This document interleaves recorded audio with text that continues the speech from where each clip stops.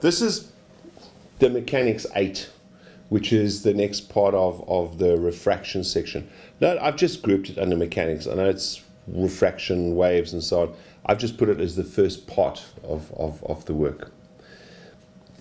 We were looking at light waves going through from a less dense to a denser medium. In other words, from something light to something sticky, right? Just think of it in those terms, right? And we said that as it goes through from something less dense to something denser, in other words, it's more work, it loses energy, so it drops down towards the normal. It kind of goes towards the normal like that.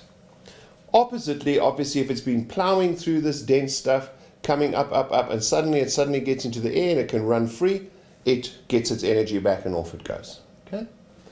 So, let's just examine some of the other little parts of this um, this section of the work, the uh, refraction of light. Let us look at, um, for example, an exceptionally clever fish called the archerfish. Some of you have seen Nat Geo or, or, or, or those programs. You know it's a fish that lives in a river and it lives where there's vegetation that overhangs the rivers and what it does is it lies under the water and then it spits water out onto a winged insect or a, or, or a bug, which then hits it and it falls into the water and then the fish can eat it.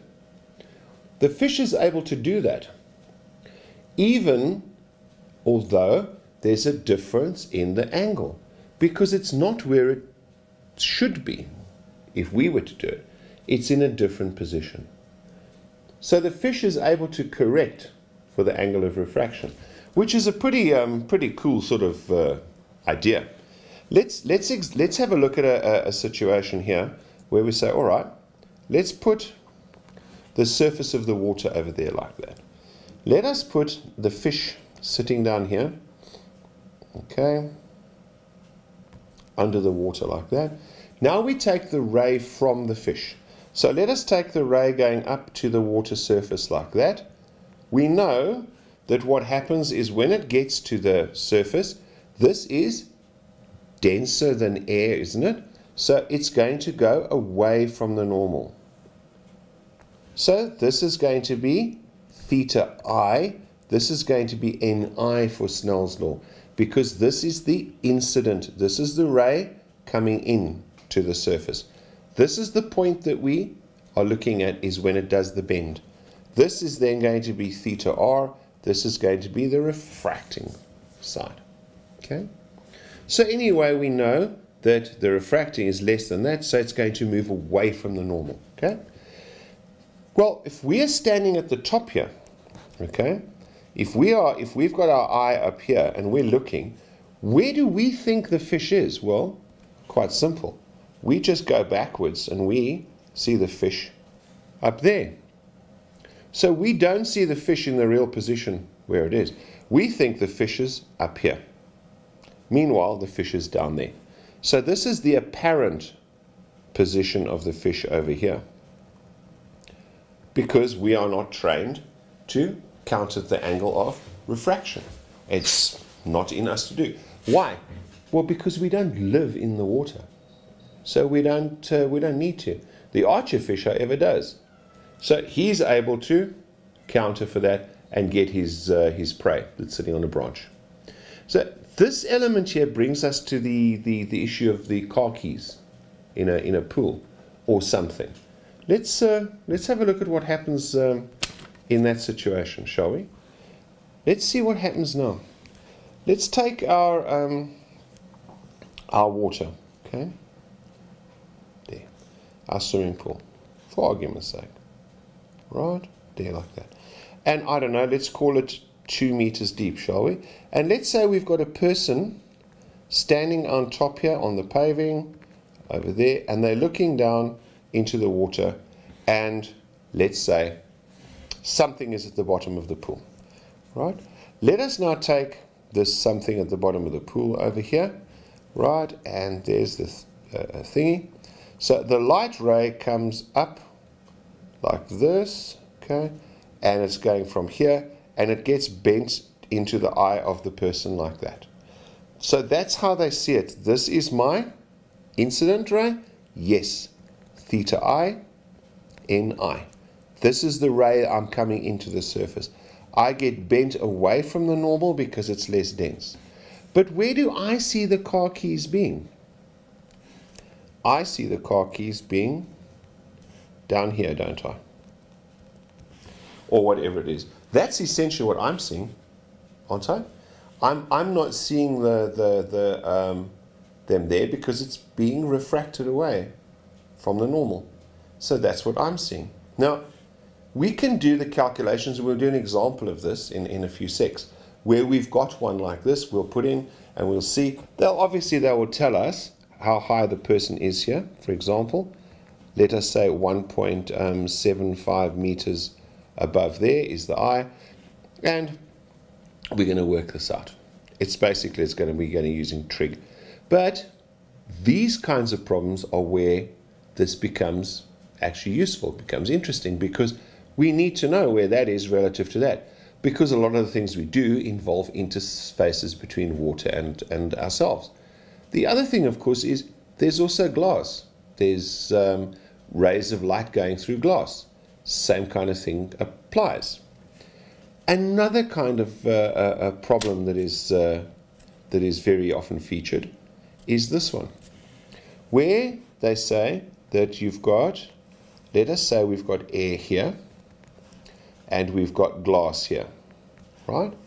And we take a ray of light coming in over here, all right? Now, air is less dense than glass, so as we go into it, we're going to slow down, which means that we're going to bend that way, all right? Then they tell you, here's another surface, I don't know, let's say it goes from there to, um, let's say to a diamond, right? Right? And the n of this, let's say n here is 1, the n of the glass was, let's just have a look again, the n of the glass was 1.52 and the n of the diamond was going to be 2.42. So once again, now remember, here we are the incident ray, theta i, theta r, right? And this is the, but now it becomes the incident ray for the next surface. So this becomes theta i, and it's going from here. This number is small, this is more dense. It's thicker. So what's going to happen? It's going to come to the normal again. So we can work out these angles. As long as we know one of them, we can work out the rest. Now let us say it goes out to air. Now it goes to n is equal to 1. So it kicks out like that. Okay. Can you see what we've done, just as a matter of interest, is we've deviated the light's path through all this. That same ray of light, if this whole system hadn't been there, of the, the glass the diamond and back to the air, the ray of light would have carried on straight. But by doing this, we've actually changed its path as it's gone through, right? So, what do we have to remember about this? The key to remembering here is we start off in the incident medium and we deflect towards the normal every time we go to something higher. When we go out of it, we go to a lower one, which means we can pick up our energy again. So instead of being down, we pick it up and we, we can go with it, right? So let's, uh, let's, let's look for an example of, of, of, of this, right? Oh, no, before we do that, let's, um, let's have a look at a very important um, concept here. Let us um, look at this, right? We have got a ray of light coming up here, right? It's coming, let us say, from n equals 1.35 to an n of something of 1. So we're coming from dense to less dense. So we're no longer having to work so hard. So we're going to pick up our energy and run away like that. Theta I, theta R. Ni, Nr. Okay? Now, let's just look at what happens if we start moving this angle around a bit. Right? It's going to do that. Okay? And similarly, okay, can you see that at some point it's going to go down there like that, isn't it? Okay, it's actually going to go along, skimming along the surface like a stone along water. So when we get to this point, can you see in each one of these, this is theta i, right? This is the incident ray now because we're riding this ray to the surface. At some point, I'm going to be bent until this runs along the surface, right? What happens if I go beyond that point? Well, this is what happens. We say, right, we are now here, right, and all of a sudden you go from and they are equal. This is called total internal reflection.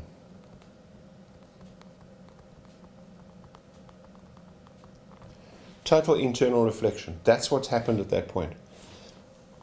Over here, everything was fine in case in case A, in case B, and in case C. That was fine. This point here, what happened? It suddenly went too far and it totally reflected internally. In other words, it didn't refract it anymore, it reflected it. Now, this principle is very useful because this is what we use in, in, in some optic fiber cameras and things like that, where we can go in with very small cameras into the human body and we can actually take videos. We can have a look at what's going on inside. You know, it's a non-invasive process. You don't need surgery for it. They can use cameras, the gastroscopy, colonoscopies, and I think that's what they're called, where they actually go and examine the insides of the body.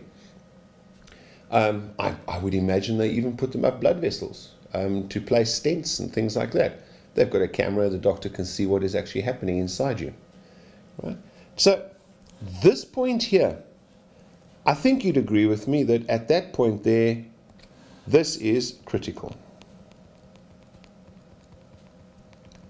It's some kind of critical point, isn't it? Well, what, what critical point is it? It's that point where the angle of incidence here, this theta i, is at the critical point. Where if it goes any slightly further, it doesn't refract anymore, it reflects back into the, um, into the medium. Okay?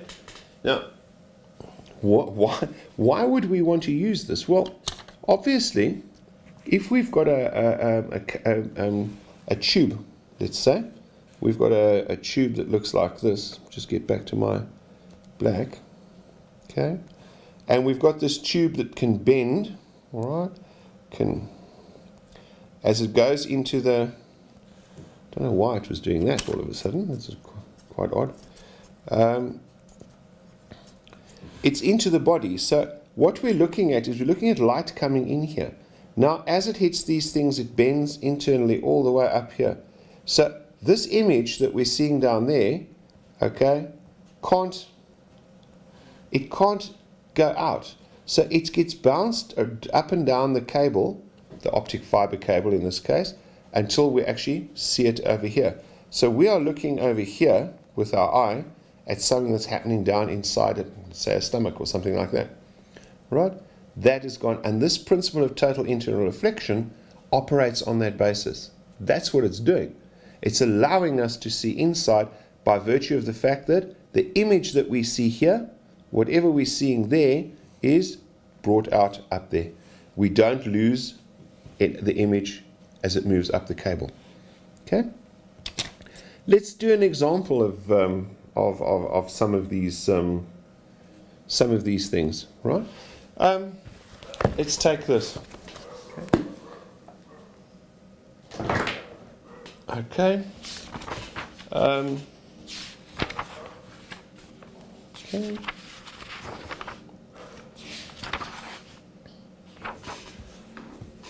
All right.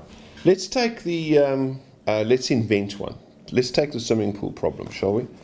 And let's go, say, right, I'll just draw it here. Okay. Like that. And we say that the n of this stuff is 1 point. Let's use water, which is 1.33. Um,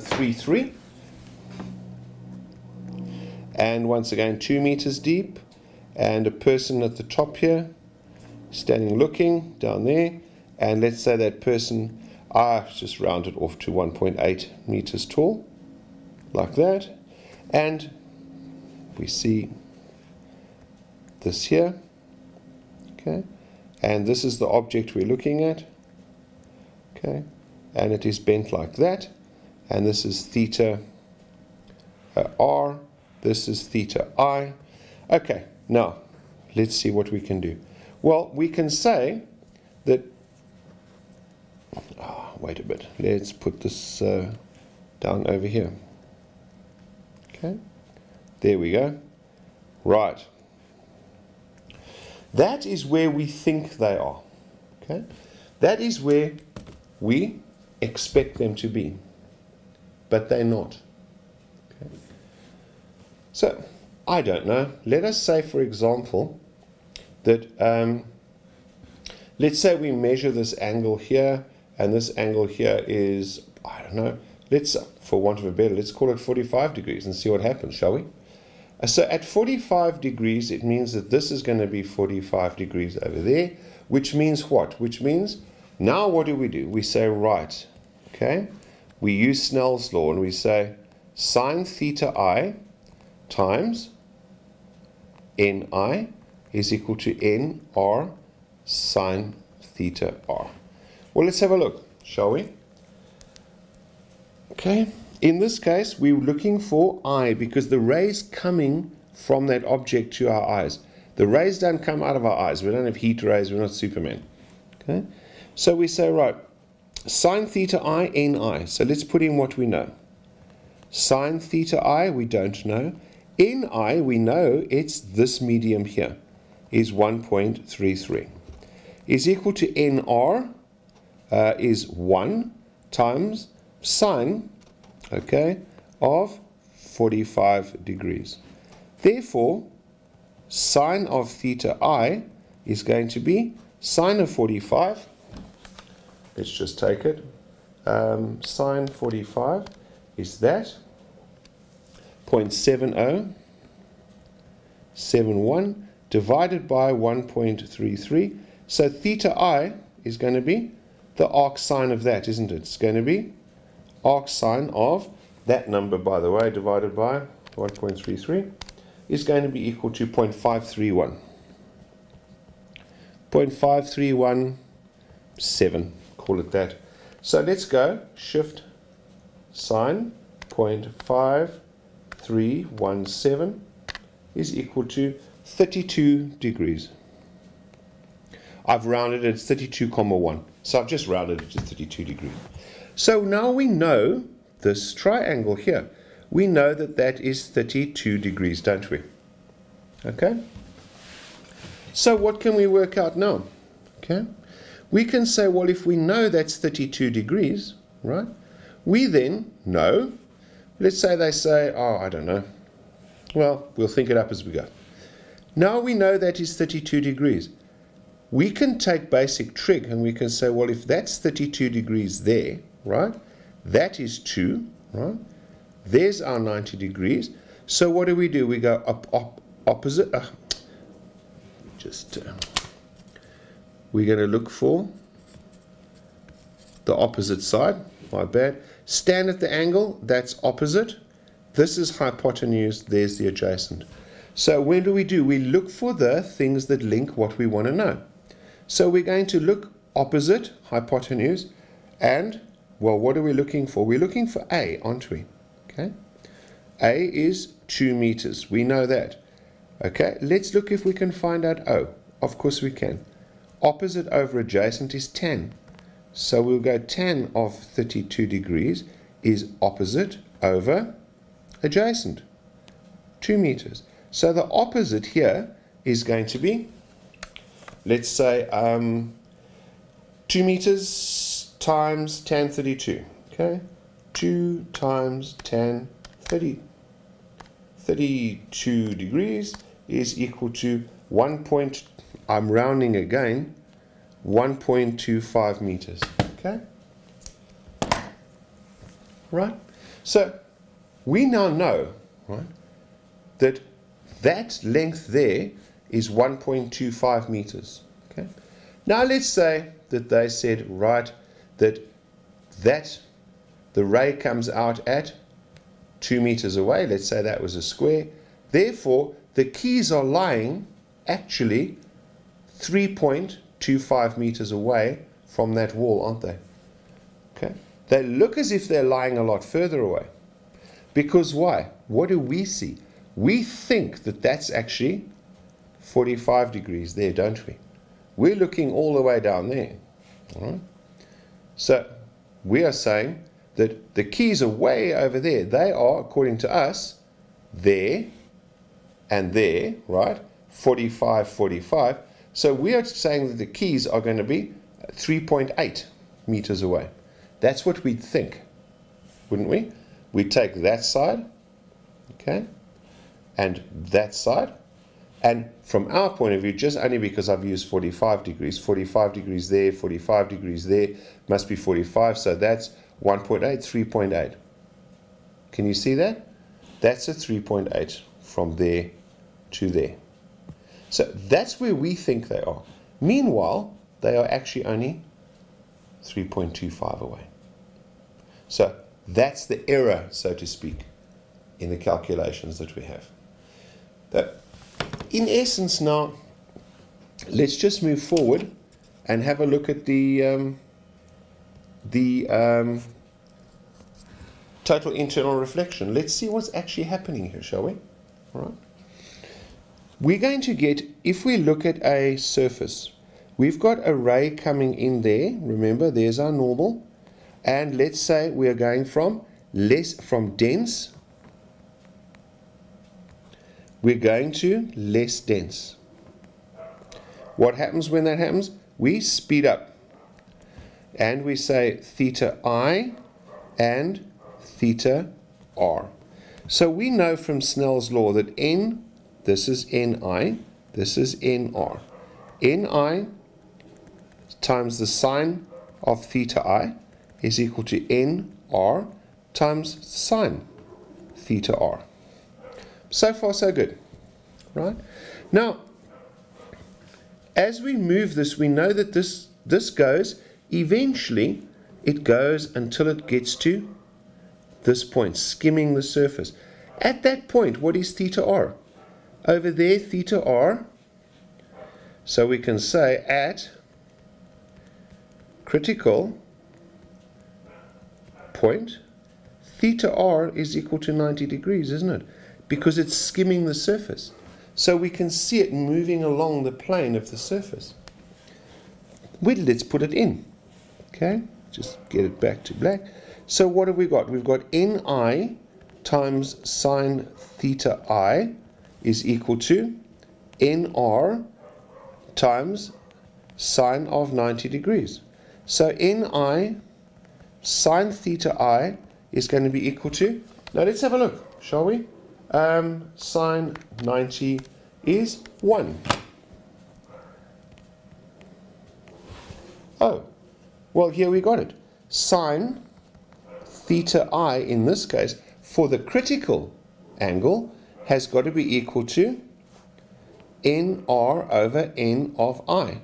So therefore, theta i is going to be arc sine nr over ni. So now for any medium we can find, let's say they say find the critical angle for um, going from diamond to air. Okay, so let's see. Critical angle, diamond to air. Let's have a look. Well, what do we know? Theta i is going to be arc sine of um, the refractive medium is the air, isn't it? Because where are we going? We're going from diamond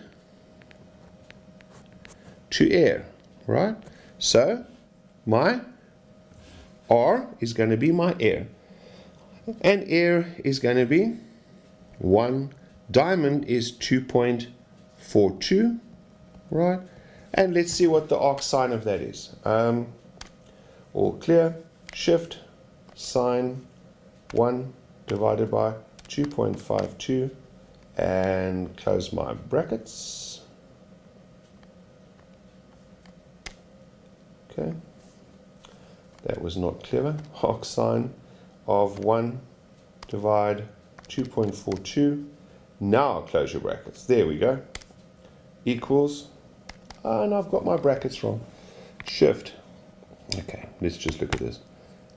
Right, 1 divided by 2.42 is going to be 0.4132. Shift sine 0.4132 equals 24.4 degrees. 24.4 degrees. So that is the critical angle, right? Which means that if a light ray comes in at any angle to the surface of a diamond, let's just look at it, okay, right? Just so that we can logic it out. Remember the diamonds have got all the facets, the sides and, and whatever that, that they're cut, right, to enhance brilliance. It means that if we take a look, there's a surface, right? If the angle is bigger than 24 degrees, it's bounced back, okay? So in other words, if when they're cutting these, they can minimize that. It makes the brilliance of this diamond huge, doesn't it? Because we're bouncing the light inside it continuously, okay? So that is why diamond is such, a, well, first of all, I think is why it's got the brilliance, the term brilliance, but it's bouncing around inside there all the time because it's so low. Let's just last of all look at the critical angle, for example, between um, water. Okay, so we say it's going to be arc sine nr over ni. Correct? That's what we've got as our as our formula, right? Okay, so it's going to be arc sine. Now let's just have a look. Okay, let me just get rid of this this um, my attempt at drawing a diamond over there. Okay, and let's go back. Now let's have a look. Hang on, which one is which? Where are we going? We are going from uh, water to air. So we've got water to air here, which means water is our refractive, air is our okay, is our refractive side. Water is the incident because we are in the water going to air. So um, refractive is 1 over, and what is the incident is water, we said, 1.33. It's 1.33. Let's have a look at this. Shift um, sine 1 divided by 1.33 and close my brackets there equals that 48,75 degrees. It's double a diamond, right? Okay, that's basically brought us to, to, to the end of the section on refractive index and refraction, okay? The next part of this is going to be looking at the wave fronts themselves, where we're going to start looking at interference, we're going to start looking at um, interference patterns and things like that, okay? 2D and 3D wave fronts, okay? um, talking about Huygens principle and all of those things. From here, we're going to end up basically targeting to get to where we've got interference patterns. And that we're going to show that it does it with water and with light. That's going to be our next one.